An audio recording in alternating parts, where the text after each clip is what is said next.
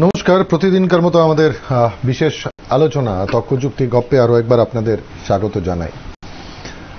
আজ যেটা আলোচনার বিষয়, আমাদের রাজ্যে যারা কৃষক রয়েছেন, তারা কেমন আছেন? এক্ষেত্রে কৃষকদের জন্য যে প্রকল্পগুলো রয়েছে, সেই প্রকল্পের সুবিধা আদৌ কতটা তারা পাচ্ছেন? সেক্ষেত্রে কোথাও কোনো সমস্যা রয়েছে কিনা, যে ত্রুটিগুলো কাটালে পর হয়তো আরও ভালো থাকবেন কৃষকরা। পাশাপাশি দেশের বর্তমান যে অবস্থা, কৃষকদের আন্দোলন ইত্যাদি, নানান বিষয় নিয়ে আজকে আমাদের মূলত আলোচনা। আমাদের সঙ্গে যিনি রয়েছেন, দীর্ঘ বছর তিনি কৃষি বিভাগে চাকরি করেছেন, কৃষি বিজ্ঞান কেন্দ্রে প্রশিক্ষকও ছিলেন এবং গ্রিন ক্রস সোসাইটির সম্পাদক বুদ্ধদেব আচার্য তিনি রয়েছেন আমাদের সঙ্গে আলোচনায়। নমস্কার, আপনাকে নিউজ ভ্যানগার্ডে স্বাগত জানাই। নমস্কার। এবং আছেন আপনারা। এই আলোচনায় সামিল অবশ্যই। আহ, বুদ্ধদেব বাবু আহ, শুরুতেই যেটা জানব যেহেতু আমাদের টাইটেলটা হচ্ছে আমাদের রাজ্যের কৃষকরা কেমন আছেন। তো আপনি দীর্ঘদিন সরাসরি যুক্ত এই রাজ্যের কৃষি ব্যবস্থাটার সঙ্গে নিশ্চয়ই কৃষকদের সম্পর্কেও যুক্ত দীর্ঘদিন ছিলেন। সরকারিভাবে কাজ করার সময় তো ছিলেন বা এখন সাংগঠনিকভাবেও নিশ্চয়ই আছেন। তো আপনার উপলব্ধিতে আমাদের রাজ্যের কৃষকদের অবস্থাটা কেমন? নিশ্চয়ই এ সম্পর্কে বলতে গেলে প্রথমেই বলতে হয় যে আমরা সমস্যাটা যেরকমভাবে দেখ- দেখছি আর কি, সেটা বাহ্যিকভাবে দেখছি। কিন্তু প্রকৃত যে সমস্যাটা, সেটা কৃষক নিজেরা উপলব্ধি করছেন, নিজেরা সেটা তাদের কোনো মানে ফিল করছেন? বা তাদের যদি সুবিধা অসুবিধা হয় ওই জিনিসগুলি ওনারা যেরকম সাফার করছেন সেই জিনিসটা ওনাদের মুখ থেকে এখানে যদি রিপ্রেজেন্ট হতো তাহলে ভালো হতো। এবং সেই জায়গাতে আমাকে বলতে হয় একজন কৃষক প্রতিনিধি যদি এখানে থাকতেন এবং ওনার অভিজ্ঞতাটা উনি যদি বলতেন যে আমরা কেমন আছি তাহলে সেটা এক প্রকার হবে। আর আমরা যেহেতু কৃষির সঙ্গে মানে কৃষি উন্নয়নের সঙ্গে, কৃষি ডেভেলপমেন্টের সঙ্গে দীর্ঘদিন জড়িত ছিলাম, আমাদের উপলব্ধি এমন আমাদের অভিজ্ঞতা সেটা সেটা যে একরকম হবে কৃষক ভাইদের সমস্যার সঙ্গে, সেটা নাও হতে পারে। তবে এই ক্ষেত্রে হয়তো অনেকটাই আমাদের অভিজ্ঞতার ভিত্তিতে অনেকটাই মিল থাকবে। তাদের সমস্যার ব্যাপারটা। আচ্ছা। সেই অভিজ্ঞতার নিরিখেই আমি জানতে চাইছি ধরুন সেটা আপনি যেটা বললেন যেটা হ্যাঁ। সরাসরি একজন কৃষক বললে যে বিষয়টা সেটা হয়তো উঠে আসবে না। হ্যাঁ। কিন্তু আপনি কাছ থেকে তো দেখেছেন তাদের অবস্থানটা বা তাদের জন্য যে পরিকল্পনা প্রকল্প এই সরকার তার আগের সরকার বিগত সরকার ধারাবাহিকভাবে বিভিন্ন প্রকল্পগুলো চলে এবং দেশটা কৃষিভিত্তিক দেশ সেই সেই অর্থে তারা কেমন আছে? সেই সেটাই বলছি। দেখুন আমাদের যে কৃষি ভারতবর্ষ কৃষি প্রধান দেশ এ সম্পর্কে তো আর কেউ কোনো দ্বিমত নেই। এবং আমার কাছে যে তথ্য আছে জাতীয় গড় আয়ের আঠারো শতাংশের বেশি কৃষি উৎপাদন থেকে আসে।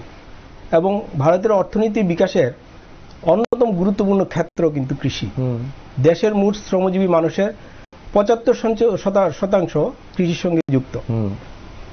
এবং মোট জনসংখ্যার আটান্ন শতাংশ উৎস কৃষি জীবিকার উৎস কৃষি।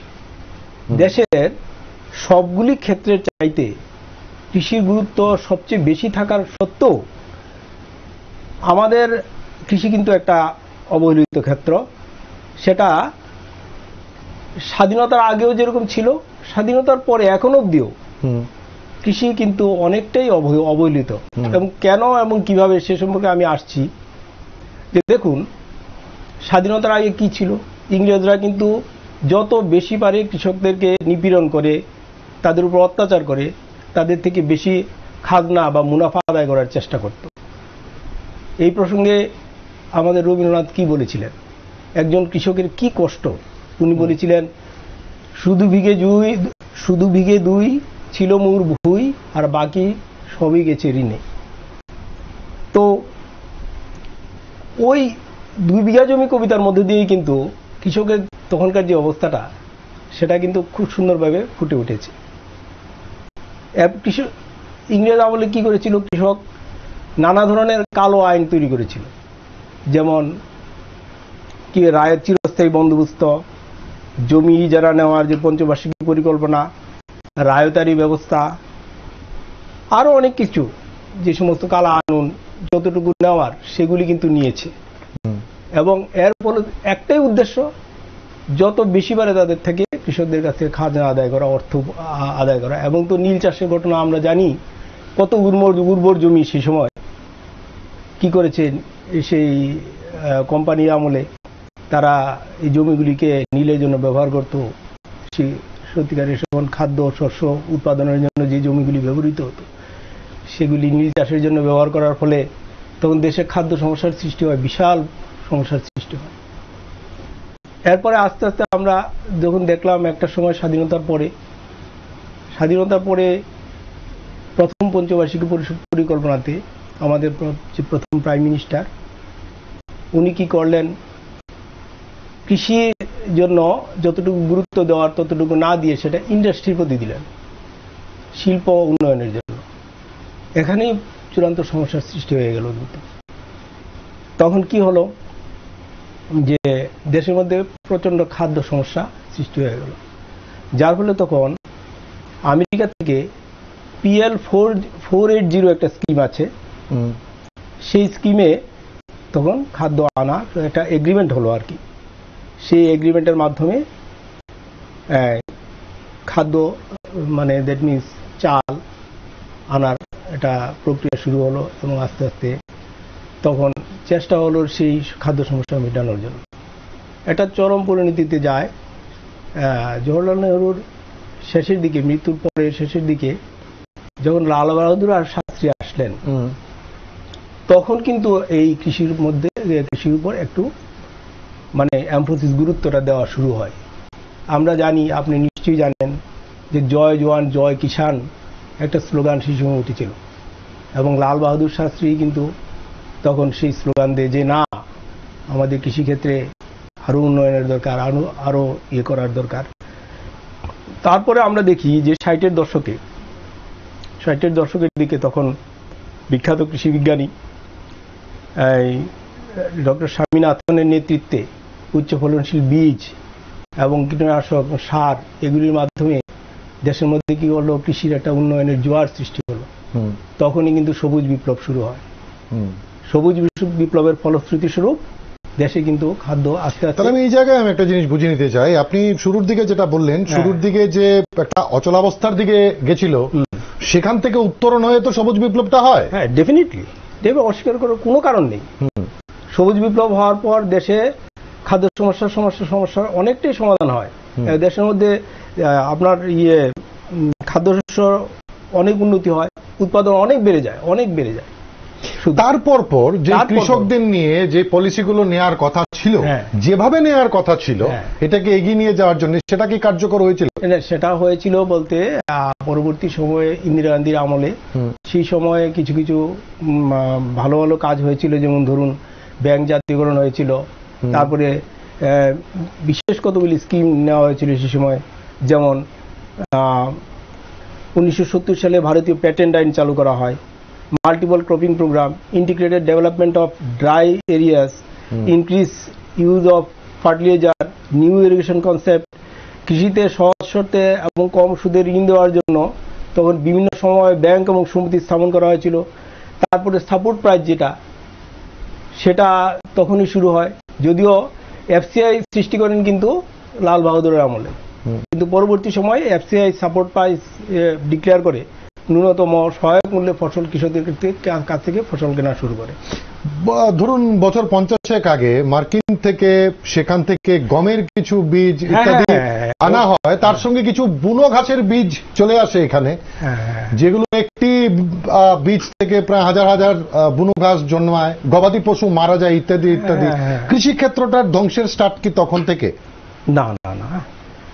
দেখুন এটা হতে পারে যে গমের সঙ্গে যেটা মানে যে বীজের কথা বলছেন সেটা উইট আর কি। একটা মানে আগাছা আর কি। আগাছা। সেই আগাছা মাইলের পর মাইল সেই হ্যাঁ, আগাছা ছড়িয়ে পড়ে এক সময়। আগাছা ছড়িয়ে পড়ে সেই আগাছা এটা অতটুকু এতটুকু বিভীষিকাময় হয়নি। পরবর্তী সময় আগাছা দমনের জন্য নানা ধরনের রাসায়নিক বেরিয়েছে। হ্যাঁ এবং যেমন টু ফোর ডি এগুলির মাধ্যমে নিয়ন্ত্রণ হয়, আগাছা নিয়ন্ত্রণ হয়। আরও অনেক উন্নত ধরনের, যেমন এখন গ্লাইফোসেট আছে, তারপরে আরও অনেক মানে যেটাকে বলে হার্বিসাইড সেগুলি আছে। সেগুলি দিয়ে আগাছা দম- দমন করে আবার ফসল উৎপাদন করা হয়। ওটা না, আমার কথা হচ্ছে যে ওই সময় থেকে দেশে কি হয় খাদ্যশস্য উৎপাদন বেড়ে যায়। বেড়ে গিয়ে আস্তে আস্তে দেশ খাদ্য স্বয়ম্বরতার দিকে অগ্র- অগ্রসর। হয়। এবং উনিশশো নব্বই একানব্বই অবধি কিন্তু এই উৎপাদনের ধারাবাহিকতা বজায় থাকে। কিন্তু পরবর্তী সময়ে যখন নিউ ইকোনমিক পলিসি যেটা যেটা গ্লোবালাইজেশন যেটা শুরু হয়। গ্লোবালাইজেশন মানে সেই গ্লোবালাইজেশনের পরিপ্রেক্ষিতে গ্যাট চুক্তিতে যখন স্বাক্ষর করে আর কি সেই দিদেন সে কংগ্রেস কংগ্রেস আমলে আমাদের তখন অর্থমন্ত্রী ছিলেন ডক্টর মনমোহন সিং। উনি কিন্তু চুক্তিতে স্বাক্ষর করেন। মরক্কোর মারাগার শহরে। এটা উনিশশো একান্ন তিরানব্বই সালের এপ্রিল মাসে সম্ভবত। গ্যাট চুক্তির ফলশ্রুতি হিসাবে এটাতে কতগুলি অপমানজনক সত্য আমাদের উপর, ভারতবর্ষের উপর চাপিয়ে দেওয়া হয়। যে আমাদের ভর্তুকিটা কমিয়ে দিতে হবে কৃষির উপরে, এক নম্বর। দুই নম্বর হচ্ছে যে আমদানি মানে অবাধ আমদানির সুযোগ দিতে হবে। মানে বাইরের তাদের যে ফসল আমাদের দেশে বিক্রি করার একচেটিয়া ভিত্তিক বিক্রি করার সুযোগ করে দিতে হবে। এই যার জন্য কি হয় আমাদের দেশের কৃষকরা যে উৎপাদন করত সেইখানে প্রতিযোগিতায় কিন্তু ওর মার খেয়ে যায়। কেন মার খেয়ে যায়? কারণ ওদের দেশে কিন্তু প্রচুর ভর্তুকি দেওয়া হয়। আমেরিকান আহ, আমাদের কাছে তথ্য আছে। আমেরিকা প্রতি বছর তাদের কৃষকদের প্রচুর ভর্তুকি দেয়। সেই তুলনায় কিন্তু আমাদের দেশের কৃষকরা অতটুকু ভর্তুকি পায় না। কিন্তু যার ফলে উৎপাদন খরচ অনেক বেড়ে যায়। বলুন নব্বই দশক পর্যন্ত যে জিনিসটাকে আরও এগিয়ে নিয়ে যাবার কথা হ্যাঁ। ছিল হ্যাঁ। তাহলে পলিসি মেকারদের কারণে কোথাও না কোথাও গিয়ে কৃষকরা বঞ্চিত তখনকার সময় থেকেই হওয়া স্টার্ট হয়েছে? হ্যাঁ সেটা তো আমরা বলতেই পারি যে যেটা বলছি যেটা ওই গ্যাট চুক্তি বা ওয়ার্ল্ড ট্রেড অর্গানাইজেশনের সঙ্গে যে চুক্তির পরবর্তী সময়ে আমাদের কৃষকদের অবস্থা খারাপ হতে থাকে। কারণ বাইরের যে ভর্তুকিজাত যেসব ফসল আমাদের দেশে প্রচুর পরিমাণে ঢুকতো সেগুলি বাজারে মানে প্রচুর পরিমাণে গ্লাট হয়ে যায়। আর আমাদের দেশের উৎপাদিত ফসল তা সে যেহেতু দাম কম দাম ওইগুলি যেহেতু কম দাম আমাদের দেশের কৃষকদের উৎপাদিত ফসলের দাম অনেক বেশি যার ফলে কৃষকরা মার খেয়ে যায়।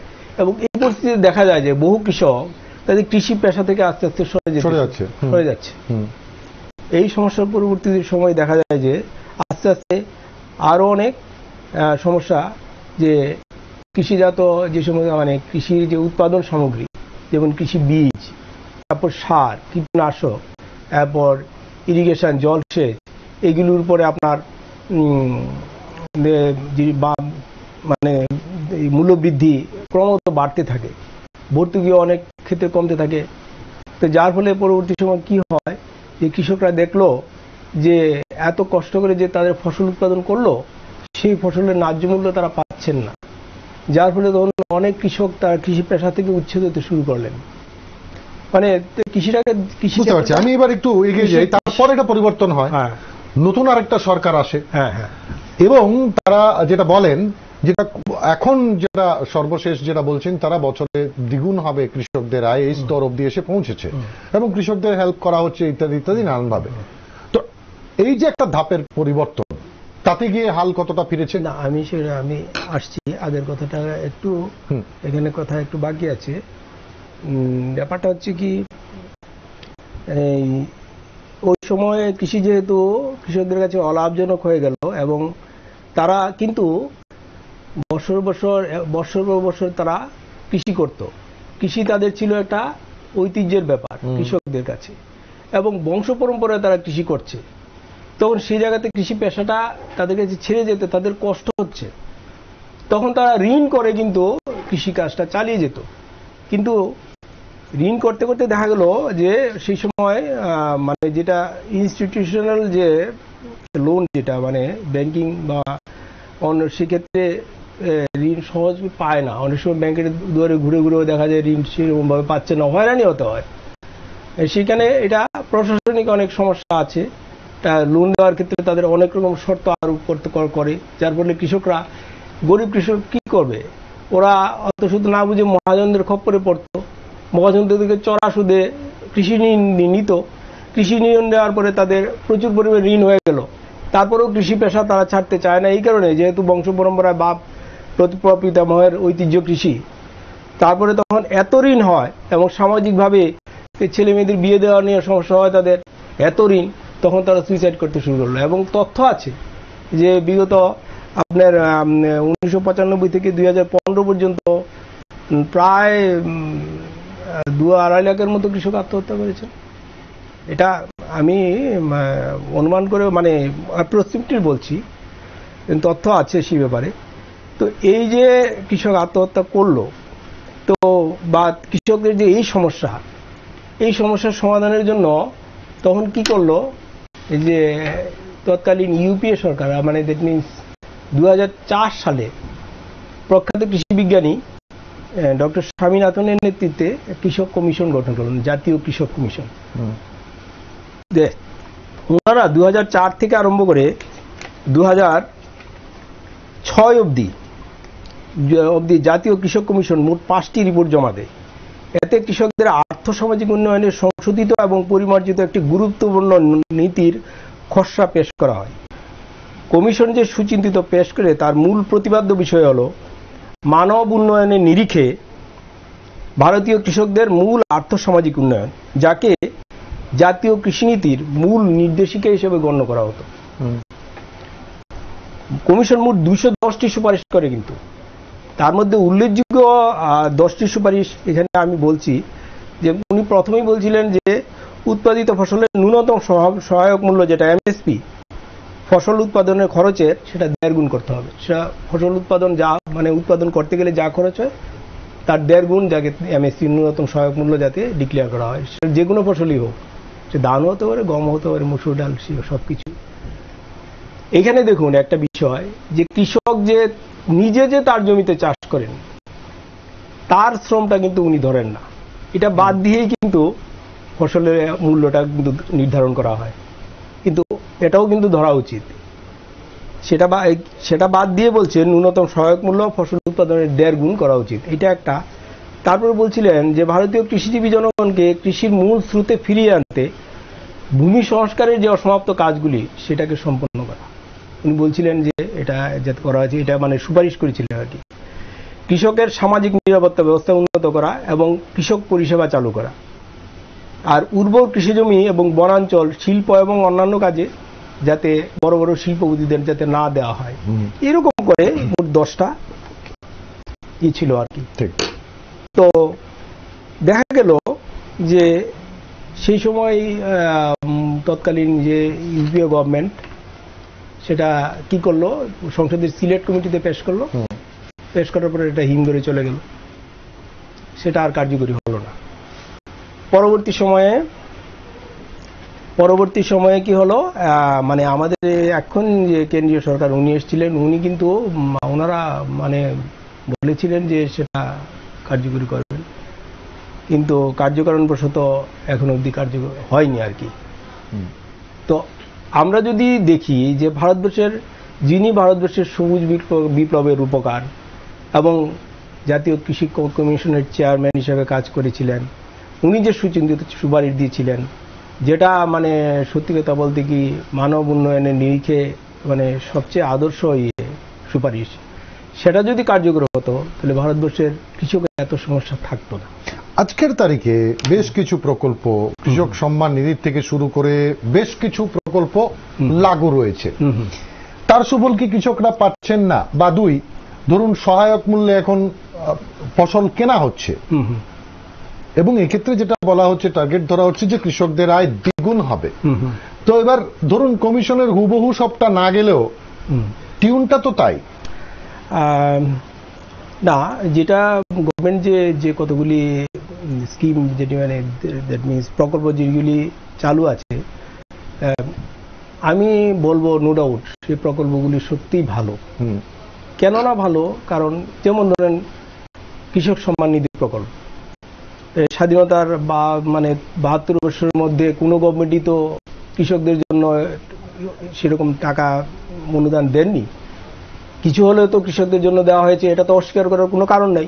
কোনো রাজনৈতিক দলই অস্বীকার করতে পারবেন না। ওনারা মানে আমরা একটু এতটুকুই বলতে পারি যে এই টাকাটা অত্যন্ত ইনসাফিসিয়েন্ট কারণ আপনি দেখুন বছরে কত দিচ্ছে? ছয় হাজার টাকা। তাহলে মাসে কত পাচ্ছে পাচ্ছে উনি? মাত্র পাঁচশো টাকা। আর এমনি সামাজিক ভাতা কত হচ্ছে? সামাজিক ভাতা কিন্তু এর আগে তো সেটা ছ টাকাও ছিল না না। আমি তো প্রথমেই বলছি যে কিছুই ছিল না কিছু জায়গায় কিছুটা হয়েছে। কিছু তো হয়েছে. অস্বীকার করার নাই। কিন্তু সত্যিকারের কৃষি কৃষকদের কতটুকু রিলিফ হচ্ছে? একটা আপনি দেখুন আজকে হাইব্রিড সিড একখানি ক্ষেতের সিডের দাম কয়েক হাজার টাকা। সেই জায়গাতে পাঁচশো টাকা দিয়ে তার কি হয়?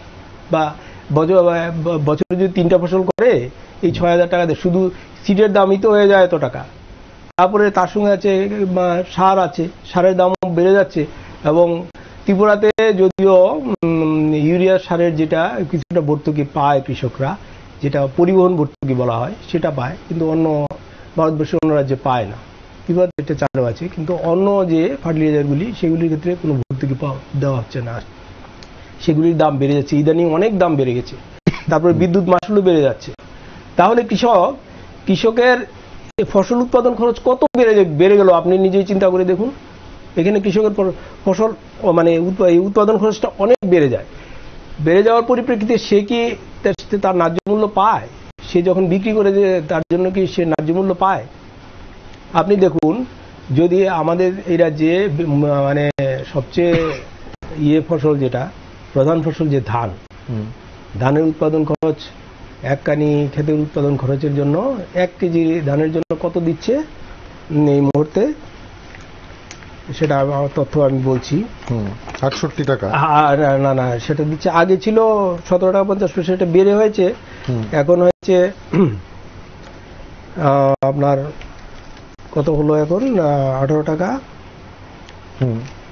আঠারো টাকা আটষট্টি পয়সা বোধ হয় আঠারো টাকা হ্যাঁ। হ্যাঁ, আর উনিশ টাকা চল্লিশ পয়সা হবে ইয়ে থেকে। এই রবি সিজনে উনিশ টাকা চল্লিশ পয়সা হবে। এফসিএ যদিও এটা ঠিক যে আগের গভর্নমেন্টের আমলে এফসিএ সেরকমভাবে প্রকুর করেনি। এখন করেছে এটা তো ভালো উদ্যোগ নো ডাউট এটা অস্বীকার করার কোনো কারণ নেই। তো এখানে একটা কথা হচ্ছে যে এটাও অত্যন্ত সীমিত। এটাও কৃষকদের মানে নাই মামার চেয়ে তো কানা ভালো। কিন্তু এই ক্ষেত্রেও দেখা যাচ্ছে আপনার যে কৃষক যে ধান আমরা উৎপাদন হচ্ছে যেটা যে স্ট্যাটিস্টিক্স অনুযায়ী আহ, এই বছরের যে স্ট্যাটিস্টিক্স দুই হাজার কুড়ি একুশের আ- আট লক্ষ চৌষট্টি হাজার এমটি ধান উৎপাদন হয়েছে। মানে দু হাজার কুড়ি একুশের তথ্য অনুযায়ী। তাহলে আমরা কতটুকু প্রকিউর করলাম? এর মধ্যে থেকে কতটুকু প্রকিউর করলাম? তাহলে সব কৃষক কি সব মানে এমএসপি পাচ্ছে বা সেটা একটা প্রশ্ন রয়ে গেছে এখানে? এইখানে হয়তো আমাদের দপ্তরের কার্যকারিতার ক্ষেত্রেও অনেক ত্রুটি দুর্বলতা থাকতেই পারে। না এক্ষেত্রে ধরুন সার্বিকভাবে যদি বলা হয় সেখানে এক গত বছরের সঙ্গে যদি তুলনামূলকভাবে দেখা যায়। সেখানে এমএসপি অনেকটা বেড়েছে।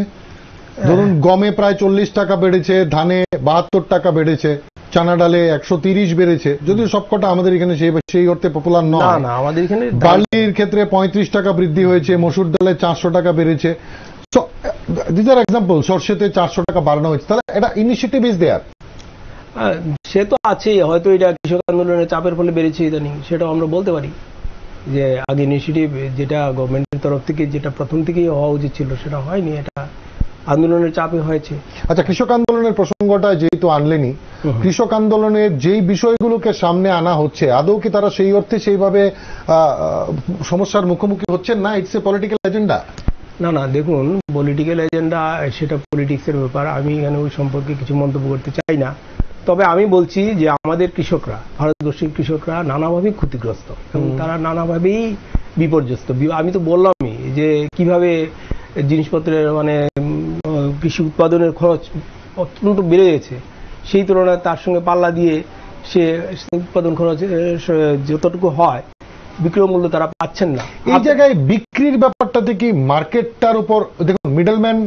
এই মিডলম্যানটাকে একটা বড় ফ্যাক্টর মিডলম্যান যে একজন চাষি তার দামটা ঠিকভাবে পাচ্ছেন না মাঝখান দিয়ে কিছু একটা হচ্ছে। হ্যাঁ মিডলম্যানের ফ্যাক্টর তো আছেই। মিডলম্যানের ফ্যাক্টর তো আছে তাহলে সমস্যাটা কোথায়? এখন তো সরকার বলছে নতুন আইনে আমি মিডলম্যান রাখব না কোথাও। না এখানে সমস্যাটাই হচ্ছে এখানে যে দেখুন গভর্নমেন্টের কর্তৃত্ব যদি না থাকে সরকারি কর্তৃত্ব যদি না থাকে যদি প্রাইভেট চ্যানেলে সবকিছু হয়ে যায় তাহলে সেখানে কৃষকের ক্ষতিগ্রস্ত হওয়ার বেশি সম্ভাবনা থাকে যায়। আমার কথা হচ্ছে যে আমার কর্তৃত্ব থাকতে হবে নজরদারি থাকতে হবে। একটা ভালো জিনিস আমি ইমপ্লিমেন্ট করব কিন্তু এখানে সরকারি নজরদারি থাকবে না সেটা হয় না। কৃষি আইনে কি হচ্ছে?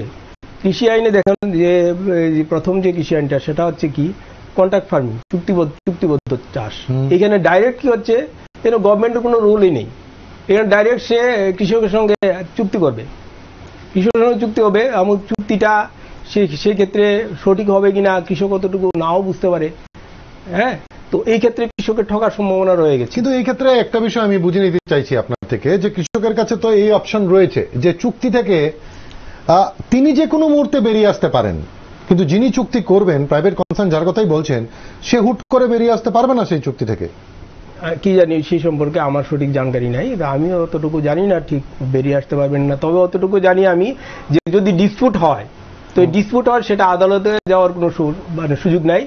সেটা নিষ্পত্তি করবে। একটা- এগ্রিমেন্ট তো এগ্রিমেন্ট তো হবে। এগ্রিমেন্ট তো হবে। হ্যাঁ। আদালতের দরজা সবার জন্য খোলা আছে। যাই হোক কিন্তু একজন গরিব কৃষক গিয়ে সেকে আদালতে কতটুকু কি করতে পারবে আর এত বিরাট বড় কর্পোরেট সংস্থা তার সঙ্গে সে লড়াই করে কতটুকু সে আদায় করতে পারবে এটা বিশাল ব্যাপার এখানে। এখন যে বিষয়টা সামনে আসছে কারণ এখানে নিষ্পত্তিটা কে করবে? এসডিএম করবে। হুম। এসডিএম এর কাছে যাবে হুম। কৃষক। এখন আমাদের কৃষকরা এইরকম মানে সরকারি প্রশাসনের কাছে যেতেই ভয় পায়। তা সাধারণ কৃষক। হুম। সেই জায়গাতে লড়াই মানে কোনো ব্যাপারে আইনি যদি জটিলতার সৃষ্টি হয় সেরা কতটুকু রিড্রেস পাবে সেটাই বড় সমস্যা। আপনি দেখুন কিষাণ ক্রেডিট কার্ডের ব্যাপারে দেখুন লোন নেওয়ার ক্ষেত্রেই দেখুন। হুম। কিষাণ কৃষকরা কি করে লোন নেওয়ার জন্য বিভিন্ন ব্যাংকের দরজা যায়? কিন্তু আমার অভিজ্ঞতায় আমি তো ছিলাম আমি কাজ করেছি। যে এই যে ব্যাংক ম্যানেজাররা ওদেরকে এন্টারটেনই করে না যে সমস্ত শর্ত দিয়ে দেয় বলে এই শর্ত পূরণ করতে হবে এই করতে হবে তারপরে তুমি ঋণ তারপরে আবার ডিফল্টার হলে যদি ঋণ সে যদি মুকুম না করে দ্বিতীয়বার সে লোন পাবে না। তো এই যে সমস্যা কৃষকের আছে সব ব্যাপারগুলি আরও অনেক জটিল এবং কঠিন হয়ে যাচ্ছে এই সব। ডেফিনেটলি কিন্তু এখন একটা একটা সিস্টেমের মধ্যে দিয়ে তো যেতে হবে। আপনি যদি আপনার প্রোডাক্টটাকে বাজার দর বাড়াতে চান হ্যাঁ। নিজের গন্ডির বাইরে আপনাকে যেতে হয় হ্যাঁ হ্যাঁ। তাহলে এই জিনিসগুলো অল্প বিস্তর তো আপনাকে বুঝতে হবে। এখন এটা কি শুধু একটা আশঙ্কার জন্য আশঙ্কার উপর দাঁড়িয়ে এই বিষয়টা এতে কি ক্ষতি হচ্ছে না? না না। ধরুন আজ দশ মাসের এগারো মাসের উপর এই আন্দোলন চলছে আলটিমেটলি ফার্মিং এর উপর ক্ষতি হচ্ছে না? এখানে স্বামীনাথন কি বলেছিলেন? প্রফেসর স্বামীনাথনের মানে সুপারিশ আমি কোট করছি। উনি বলছিলেন যে চয়নকৃত ফসলের সুষ্ঠু বিপণনের জন্য এপিএমসি কে আরও শক্তিশালী করা এবং ফসলের মূল্য সংযোজনের মাধ্যমে কৃষিকে দ্রুত লাভজনক করা। মানে হারভেস্টেড ফসল যেটা চয়নকৃত ফসল আমাদের আপনি জানেন বোধহয় যে এটা APMC agriculture produce market board আছে। এবং ত্রিপুরাতে একুশটা মানে এপিএমসি বাজার রয়েছে। এগুলির মাধ্যমে সরাসরি এগ্রিকালচার সুপার সুপারিনটেন্ডেন্টরা সেই বাজারে কৃষকরা এসে বসে এবং তাদেরকে সুষ্ঠুভাবে যাতে বিপণন করা যায় তার ব্যবস্থা করা হয় এবং সেখানে প্রচুর মানে প্রচণ্ড নজরদারি থাকে কৃষক। আমি কাজ করেছি আমি। নোংরা এগ্রি প্রডিউস মার্কেটের হ্যাঁ যেটা ওই ওখানে পৌরসভা নজরদারি করতো। তো পরবর্তী সময়ে এটা গভর্নমেন্ট সুপারিনটেন্ডেন্টের হাতে দিয়ে দেয়। আমি সেটা করার পর আমার মানে সুপারিনটেন্ডেন্ট মানে কৃষি তত্ত্ব বধায়কের এই তত্ত্বাবধানে এই কাজটা হতো এবং আমরা প্রচুর টাকা রেভিনিউ জমা দিয়েছি ইয়েতে ব্যাংকের অ্যাকাউন্ট করে আমি জমা দিয়েছি যেটা আগে ছিল না। তো এই জায়গাতে যদি গভর্নমেন্ট যদি শক্তিশালী ভূমিকা নেয় তাহলে এখানে মিডলম্যান খুব একটা বেশি কিছু করতে পারবে না। এটা হচ্ছে আমার ব্যক্তিগত ভূমিকা আমার এই ব্যবস্থাটা থেকে উত্তরণ করে যে কৃষককে প্রাইভেটাইজেশনে দিয়ে যাওয়া মানে ওই বড় বড় কর্পোরেট সংস্থার হাতে দিয়ে দেওয়া যে তাদের সঙ্গে ডাইরেক্ট এগ্রিমেন্ট করো এখন এখানে গভর্নমেন্টের কোনো রোল থাকবে না। না না গভর্নমেন্ট তো বলছে। এই এগারো বারো দফা মিটিং হলো তারা তো বলছেন যে আমরা সহায়ক মূল্যকে নিশ্চিত করব। নিশ্চিত বলছেন উনি। কিন্তু ওনা তো ওনারা কৃষকরা চান একটা আইনি নিশ্চয় তাহলে তো সবটাই একটা মানে। নিজস্ব অনিশ্চয়তা তৈরি করে। তাহলে অনিশ্চিত না আইনি নিশ্চয়তা চান। ওনারা তো কিছু বলছেন না যেটা আমার লিগেল ডকুমেন্টারি এভিডেন্স লাগে আমার। দেখুন গ্রাসরুটে যেভাবে আলোচনাটা হয় যে কর্পোরেটরা কৃষকদের জমি হাতিয়ে নেবে। আদৌ ইজ ইট পসিবল সেটা সম্ভব। এই প্রশ্ন আপনি আমাকে বললে আমি তো এখন উত্তর না। দেবো না। যদি হয় ইমপ্লিমেন্ট হয় তখন পরবর্তী সময় দেখা যাবে। কিন্তু সমস্যাটা সমস্যা নোডেও সমস্যা তৈরি হবে। এপিএমসি ব্যবস্থার মাধ্যমে যে সুষ্ঠু একটা বিপণন ব্যবস্থা ছিল এটাকে আরও শক্তিশালী করার করলে আমার মনে হয় বেটার হবে। এটা আমার ব্যক্তিগত বুঝতে পারছি। কিন্তু এই ক্ষেত্রে এই যে এই যে মিডলম্যানকে হটিয়ে দেওয়া হ্যাঁ। হটিয়ে দিয়ে নির্দিষ্ট জায়গায় বা কোনো একটা বড় মার্কেটে গিয়ে কোন আর ক্ষুদ্র চাষির কোনো প্রোডাক্ট বড় মার্কেটে গিয়ে আরও বেশি প্রাইসে উনার চয়েস মতো প্রাইসে উনি বিক্রি করতে পারবেন। এই সম্ভাবনাটা যদি ঠিকঠাক মতো হয়, তাহলে কি মনে হয় না কৃষক লাভবান হবে? পুরো ব্যাপারটাই এখনও ধোঁয়াশাপূর্ণ, কি হবে বোঝা যাচ্ছে না। আসলে সত্যি কথা বলতে কি, তবে আমার মনে হয় কৃষকের কৃষক যারা আন্দোলন করছেন, তাদের কাছে একটা বিরাট অনিশ্চয়তা যে তাদের ফসল ন্যায্য মূল্যে তো ওনারা পাবেন না। কর্পোরেটদের সঙ্গে ওরা চুক্তি করলে ওদের বিশাল ক্ষতি হবে, এমএসপি থাকবে না। এগুলি চুক্তিতে আছেই এমএসপি উঠিয়ে দেওয়া হবে। আচ্ছা আমার রাজ্যের দিকটাতে এমএসসি উঠিয়ে যাবে দেওয়া হবে এপিএমসি উঠিয়ে দেওয়া হবে। এপিএমসিও থাকবে না এমএসপিও থাকবে না। এগুলি উঠিয়ে দেওয়া হবে। তারপর বলছে যে কৃষি আইনে বলছে যে মজুতের উপর কোনো ইয়ে থাকবে না সীমা সীমারেখা থাকবে না। যত বেশি মানে মানে ইয়েরা বা মার্কেটে মজুত করতে পারবে কৃষি পণ্য মজুত। আগে তো ছিল একটা হুম। মজুতের উপর নিষেধাজ্ঞা ছিল। এখন কিন্তু সেই মজুতের উপর কোনো নিষেধাজ্ঞা থাকবে না কৃষি আইনে ফসল নষ্ট হলে চুক্তি শর্ত যদি লঙ্ঘন করে চুক্তি চুক্তিকারী সংস্থার সঙ্গে কৃষকের আইনি লড়াই অত্যন্ত কঠিন। সেটা এসডিএম এর কাছে অভিযোগ করে তার সংস্থা আছে শুধুমাত্র। আর যে কোনো সময় অত্যাবশ্যকীয় নিত্য প্রয়োজনীয় দ্রব্যাদির যদি মূল্য বাড়ার সম্ভাবনা আছে এই কারণে যেন কৃষি পণ্য মজুদের উপর কোনো নিষেধাজ্ঞা নাই সেটা বাতিল হয়ে গেছে। আগে যেমন ধরুন ধরুন এই কিছুদিন আগে যেমন পেঁয়াজ বাজারে উদা হয়ে গেল আলু উদা হয়ে গেল তখন কি করল? এখানে এসডিএম গিয়ে কি করল? রেড করল বাজারে। রেড করে দেখল যে তার মজুদার তার প্রচুর মজুদ রয়েছে অথচ বাজারে প্রচুর দাম। সে একটা কৃত্রিম ক্রাইসিস সৃষ্টি করে প্রচুর দাম বাড়ার সুযোগ এখানে আছে। তো এই যে মজুদের উপর নিষেধাজ্ঞাটা বাতিল করা হলো এতে কিন্তু আলটিমেটলি জনগণের কিন্তু সমস্যা হবে। আরেকটা কথা কি? এফসিআই যেহেতু এমএসপি থাকবে ঠিক আছে এর সঙ্গে কৃষকের লিঙ্কেজটা করুন লিঙ্কেজটা আমার কৃষকের লিঙ্কেজ জনগণের বিষয়টা তো একটা। হ্যাঁ হ্যাঁ। এবার এই মজুদ হওয়া না হওয়া কৃত্রিম দামের সঙ্গে কৃষক যখন বিক্রি করে দিলেন তো বিক্রি করে দিলেন। তার সঙ্গে তো রিলেশন নেই ডিরেক্ট না কৃষকের থেকে তো কৃষকের থেকে তো আর কিনবে না। মানে গভর্নমেন্ট তো আর কিছু কিনবে না তো। এই চুক্তিতে কিন্তু কৃষকের থেকে কিছু গভর্নমেন্ট নিজে এমএসপি মানে ন্যূনতম সহায়ক মূল্যে এখন যেমন কিনছে যেমন সহায়ক মূল্যে ধান কিনছে। ঠিক না? বা মসুর ডাল বা যেটা বলছেন গম কিনছে সহায়ক মূল্য বৃদ্ধি হয়েছে। কিন্তু কৃষকের থেকে গভর্নমেন্ট কোনো কিছু কিনবে না। তা আলটিমেট যদি না কিনি তাহলে পিডিএস এ ওই চালটা আসবে না তো? আসবে কি? তাহলে পিডিএস সিস্টেমই তো থাকবে না। পিডিএস সিস্টেম থাকবে? এফসিআই যদি চাল সরবরাহ না করে এফসিআই যদি চাল সরবরাহ না করে তাহলে পিডিএস সিস্টেম যেটা রেশনিং ব্যবস্থা সেটা কি থাকবে ভারতবর্ষে? তাহলে ভারতবর্ষে এত গরিব মানুষ আপনি জানেন ভারতবর্ষে যে ওয়ার্ল্ড ওয়ার্ল্ড হাঙ্গার ইন্ডেক্সে ইন্ডিয়ার স্থান কত? আপনি দেখুন। কত নিচে আছে? ইভেন তার থেকে আমার মনে হয় এখানে শ্রীলঙ্কা বা অন্য স্টেট আর কান্ট্রিগুলিও একটু উপরে আছে মনে হয়। এখানে এই জায়গাটা একটু কন্ট্রাডিক্টরি মনে হচ্ছে না। একদিকে যখন আমি বললাম যে আমি কৃষকের আয় দু বছরের মধ্যে দ্বিগুণ করব ঠিক তার উল্টো দিকে যেই আশঙ্কার কথাগুলো বলা হচ্ছে যদি সেগুলো সেরকম ভাবেই হয় তাহলে তো হলো না মিললো না তো কথা মিলল না তো কথার কথা কন্ট্রাডিক্টরি হচ্ছে এটা ঠিক আপনার আপনার কথা। কিন্তু ভীষণ ডকুমেন্টে যা বলা হচ্ছে যে কৃষকের আয়- দ্বিগুণ করবে যে প্রকল্পগুলি এখানে আনছে গভর্নমেন্ট সেই প্রকল্পগুলি সঠিকভাবে বাস্তবিত হচ্ছে না তো? ধরুন আমি যদি ত্রিপুরার দিকটা দেখি আপনার অভিজ্ঞতা বলে? আমার ত্রিপুরার দিকে অভিজ্ঞ বাস্তব অভিজ্ঞতার করতে বলছি যেমন এসআরআই এসআরআই যখন ত্রিপুরাতে যখন শুরু হয় এবং সেখানে দেখা গেছে যে গভর্নমেন্টের তরফ থেকে প্রচণ্ড একটা থ্রাস ছিল। হুম, এবং সেই সময় আমাদের এই যে অ্যাগ্রোনমিস্ট ছিলেন বাহারুল ইসলাম মজুমদার উনি নিজের যথেষ্ট ই নিয়ে ইনিশিয়েটিভ নিয়ে মাঠে এসআরআই চেষ্টা করেছেন ইয়ে করার জন্য পপুলারাইজ করার জন্য। অনেকটাই পপুলার ছিল এবং খাদ্যশস্য উৎপাদন বেড়ে গেছিল কিন্তু পরবর্তী সময় গভর্নমেন্ট যখন ট্রাস্ট কমিয়ে দেয় মানে সেরকম সরকারি নজরদারি যখন কমিয়ে দেয় তখন কিন্তু সেরকম ফলন হয় না উৎপাদনও হয় না। এখন আপনি মাঠে গিয়ে দেন সত্যিকারের সত্যিকার এসআরএ বলতে কিছু আছে কি মাঠে? শুধু লাইন সুইং ছাড়া। এসআরএর দল আপনার ইয়ে ছটা প্রিন্সিপাল আছে। সেই প্রিন্সিপাল হচ্ছে দশ থেকে বারো দিনের যে সিডলিং চারা সেটা রোপণ করতে হবে। তারপরে আপনার এই ইয়ে পঁচিশ ইয়ে দশ ইঞ্চি বাই দশ ইঞ্চি বর্গাকারে জমিতে চারা রোপণ করতে হবে। তারপরে আপনার উম, দশটা রোর পরে এই ইয়ে ফাঁকা জায়গা রাখতে হবে।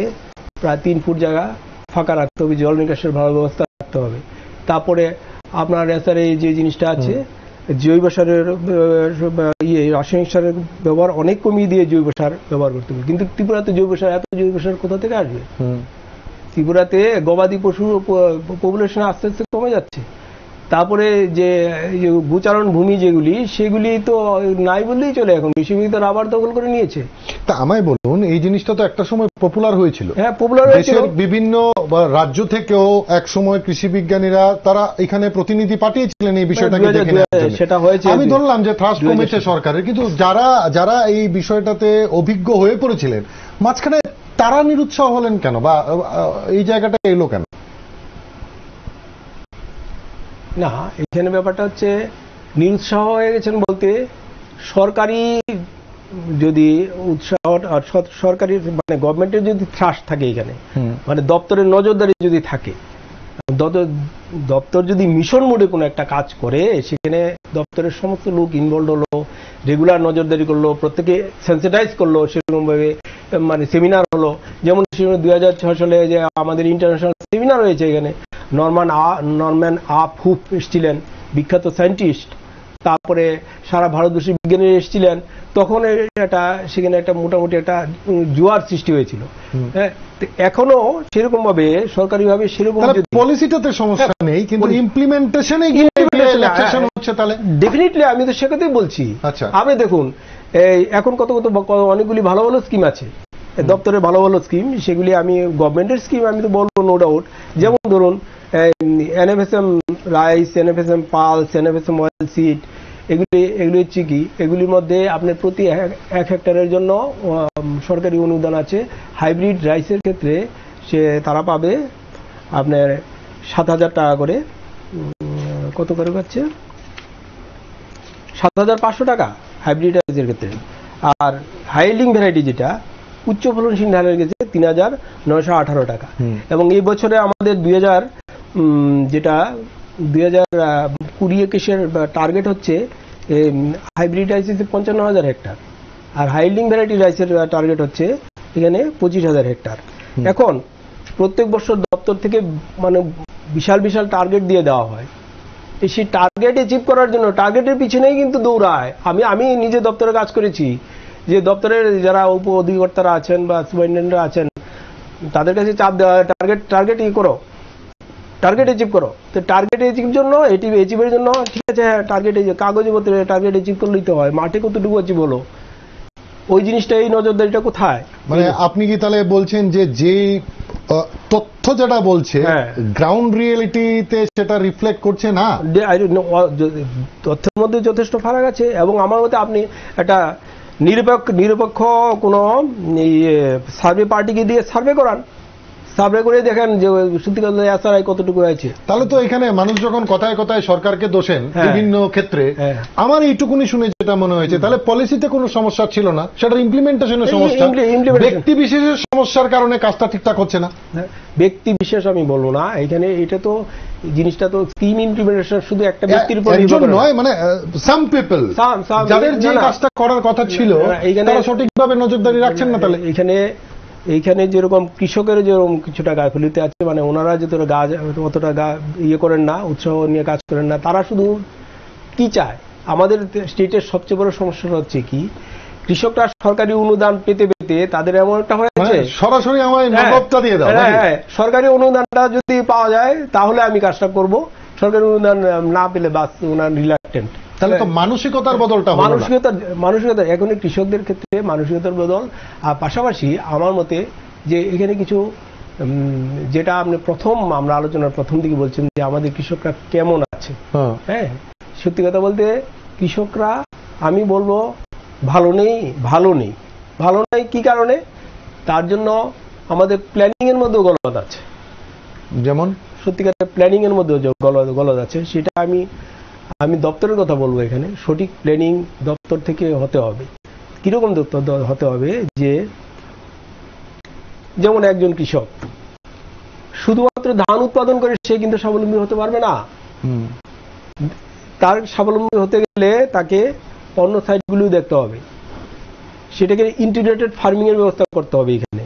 ধানের সঙ্গে তার গবাদি পশু বা কিছু মাছ চাষ করল কিছু হর্টিকালচারের ক্রপ করল এইভাবে ইন্টিগ্রেটেড ফার্মিং ফার্মিং এর কে যদি ইয়ে হয় মানে প্ল্যানিংটা যদি ওরকম হয়, কৃষকরা আমি স্বাবলম্বী করব হ্যাঁ এবং ভীষণ ডকুমেন্টের কথা গভর্নমেন্ট যেটা বলছে, এই বলছে যে এইভাবে ইন্টিগ্রেটেড ফার্মিংয়ের মাধ্যমেই তার মানে উৎপাদনটাকে দ্বিগুণ করা উচিত। এইভাবে দ্বিগুণ করতে হবে। শুধুমাত্র একটা এন্টারপ্রাইজ দিয়ে সে কিন্তু স্বাবলম্বী হতে পারবে না। কারণ ধান আজকাল কৃষক বেশিরভাগ ক্ষেত্রেই বলছে যে কৃষক কৃষিকাজ অত্যন্ত অলাভজনক হয়ে যাচ্ছে যেটা লাভজনক পেশা না কৃষিটা। না এখন আমি যদি ধীরে ধীরে কনক্লুশনের দিকে যাই ধরুন আপনি যেটা বলছিলেন যে এসআরআই নিয়ে এক সময় একটা মানে গোটা দেশে বিষয়টা হ্যাঁ, নিয়ে আলোচনা গোটা হয়েছে। সেভাবে সেটা সেইভাবে শোনা যায় না। না শোনা সেভাবে শোনা যায় না। শোনা শোনা যায় না। কিছু সমস্যা আছে আচারের ক্ষেত্রে। যেমন যে পরিমাণের জৈব সারের প্রয়োজন হ্যাঁ বা যে- পরিমাণে জৈব সারের প্রয়োজন সেই জৈব সার অ্যাভেলেবল না এক নম্বর। দুই নম্বর কথা হচ্ছে যে জীবাণু সার। জীবাণু সার যে পরিমাণে মানে সত্যি সঠিক জীবাণু সার যেটা সেটা পাওয়া যায় না। অ্যাভেলেবল না এবং অনেক ক্ষেত্রে এই জীবাণু সারগুলি স্পুরিয়াস অর্থাৎ এগুলির মধ্যে ব্যাকটেরিয়া থাকে না। আচ্ছা। জীবাণু মানে সক্রিয় ব্যাকটেরিয়া যেটা সেটা থাকার কথা সেটা থাকে না। যার ফলে সেটা মাঠে কার্যকরী হয় না। আর হাইব্রিড ধানের ক্ষেত্রে যে সবচেয়ে বড় সমস্যা হাইব্রিড ধানের ধানের উৎপাদনশীলতা যেটা তার। তার উৎপাদনের ক্ষমতা অনেক বেশি। যেখানে হাইলিং ভ্যারাইটি উচ্চ ফলনশীল ধান উচ্চ যে কোনো উচ্চ ফলনশীল ধান ধরুন আপনি যেমন স্বর্ণমাসিরি ধরুন এটা হচ্ছে উৎপাদনশীল। আর আর এটা ধরেন হাইব্রিড ধান ধরুন ইন্ডাম। এটা এটা মানে ইন্দো আমেরিকান একটা হাইব্রিড। তো স্বর্ণমাসিরির ক্ষেত্রে আপনি কম সার টার দিয়েও মোটামুটি একটা ফলন পেয়ে যেতে পারেন। এটা উচ্চ ফলনশীল ধান। কিন্তু হাইব্রিডের ক্ষেত্রে হবে, এরকম করলে কিন্তু হবে না। কারণ এর উৎপাদনশীলতা যেহেতু অনেক বেশি, উৎপাদন, এটা যে অনেক উৎপাদন উৎপাদন ক্ষমতা যেহেতু অনেক বেশি, তার যে, তার ইনপুট ইনটেকের ক্যাপাসিটিও অনেক বেশি। আপনি ধরুন ধরুন যেখানে তার একশো কেজি ইউরিয়ার দরকার, না, ধরুন এক হেক্টারে মানে সোয়া চাকরি জমিতে তার একশো কেজি ইউরিয়ার যদি এখানে দরকার সেই জায়গায় যদি আমি পঞ্চাশ কেজি ইউরিয়া দিই, তাহলে কিন্তু ওর ফলনের ক্ষেত্রে মারাত্মক মার খাওয়ার সম্ভাবনা আছে। কারণ যেই সে যেই পরিমাণ ইনপুট সে নেবে সেটাকে সে ইউনিফর্ম ডিস্ট্রিবিউশন করবে। তার পাশকাঠি অনেক বেশি। অনেকগুলি পাশকাঠি তো। তো সবগুলি পাশকাঠির মধ্যে যে গ্রেন যে আছে ধানের যে ছড়াগুলি আসে সেই সবগুলি ইনপুটগুলি যদি সে ডিস্ট্রিবিউট করে সেখানে গিয়ে দেখা যাবে যে ধান পুষ্ট হচ্ছে না রাষ্ট্রদি কিন্তু পুষ্ট হচ্ছে না। কারণ ই- তার ইনটেক ক্যাপাসিটি অনেক বেশি। তার ইউনিফর্ম ডিস্ট্রিবিউশন করতে গিয়ে তার ইনপুটটা সেখানে দেখা গেলে ধানগুলি চিটা হয়ে যায়। এই ক্ষেত্রে ফলন অনেক কমে যায়। আজকে থেকে দশ, পনেরো বা দশ বছর আগে যে কথাগুলো প্রায়শই শোনা যেত যে আর কদিন আমরা স্বয়ম্বর হয়ে যাচ্ছি, স্বয়ম্বর হয়ে যাচ্ছি, কিন্তু হয়তো বা সেটা সম্ভব ছিল বা। যে আমাদের বাইরে থেকে অন্তত এই জিনিসগুলো আনার দরকার ছিল না। কিন্তু এখনও তো বাইরের উপর নির্ভরশীলতা ছাড়া সম্ভব হয়নি। ডেফিনেটলি আপনি বাইরের উপর নির্ভরশীল কেন বলছি? আজকের দিনে আমার কাছে যে তথ্য আমি মোটামুটি সংগ্রহ করেছি সেটা অথেন্টিসিটি সেটা কতটুকু আছে সেটা আপনারা মানে সেটা অন্যভাবে বিচার মানে খবরাখবর নিয়ে দেখা যেতে পারে। যে তিন লাখ নব্বই হাজার এমটি এফসিআই ইয়ারলি চাল আনছে। যদি আমরা স্বয়ম্বরের পথে যাই, তাহলে এত চালানোর কি দরকার আছে না শুনে? আমাদের উৎপাদন বলছে আট উৎপাদন এই দুই হাজার কুড়ি একুশে বলছে আট লক্ষ চৌষট্টি হাজার মেট্রিক টন। স্বয়ম্বর হতে গেলে আমাদের মোটামুটি আর অল্প কিছু হলেই স্বয়ম্বর হয়ে যায়। মানে যে উৎপাদন যেটা দুই হাজার কুড়ি একুশে যে পরিমাণ উৎপাদন হয়েছে ধানের। তাহলে আট হয়েই গেছে তিন আসছে আপনি বলছেন তাহলে খুব একটা এদিক সেদিক নেই। না না খুব একটা এদিক সেদিক বলতে কি মানে তথ্য গোলমাল গোলমাল আছে এখানে। প্রকৃত কতটুকু উৎপাদন যে যেটা সঠিক সেটা সেটা কি সত্যিকার অর্থেই অতটুকু উৎপাদন হয়েছে কি না? না বিপ্লবটা কাগজে উতরে হচ্ছে সেটা সঠিকভাবে তদন্ত করা দরকার। সেটা তদন্ত করে এই ক্ষেত্রে আপনার অভিজ্ঞতা কি বলছে? আমার অভিজ্ঞতা বলছে কি যে আমাদের যে যে তথ্য আমরা দপ্তর থেকে পাচ্ছি হ্যাঁ সেটার মধ্যে কিছুটা হয়তো ইয়ে থাকতে পারে গরমিল থাকতেও পারে, সেজন্য নিরপেক্ষভাবে কোনো সার্ভে এজেন্সি দিয়ে আমাদের প্রকৃত এরিয়া কতটুকু? ধানের জমির এরিয়া কতটুকু বা ডালের জমির এরিয়া কতটুকু বা অন্যান্য ফসলের জমির এরিয়া কতটুকু, সেটা সার্ভে করে বের করা উচিত। ঠিক পাশাপাশি উৎপাদন কতটুকু হয়, প্রকৃত কতটুকু, আমাদের কতটুকু দরকার, সেটাও সেরকমভাবে সার্ভে করে বের করা উচিত। পরে সেইভাবে প্ল্যানিংটা করা উচিত। কিন্তু এই জায়গায় আপনার কথার থেকে আমার যেটা মনে হচ্ছে তো সেই ক্ষেত্রে যারা সেগুলো দেখভাল করবেন গোটা দপ্তর সেখানেও তো একটা সার্ভে করা প্রয়োজন মনে হচ্ছে। আর তা তো নিশ্চয়ই আমার সবটাই কারণ আর আরেকটা যেটা বিষয় যদি মানসিকতার যেটা পরিবর্তন আমি বলছেন যে একটা অংশ শুধু ভর্তুকির দিকেই যদি তাকিয়ে বসে থাকেন হ্যাঁ এটা আমার কিন্তু- এটা কিন্তু ঘটনা কিন্তু। আমাদের কৃষক অনেক আমাদের কৃষকের অনেক মানসিকতা অনেকটাই এরকম।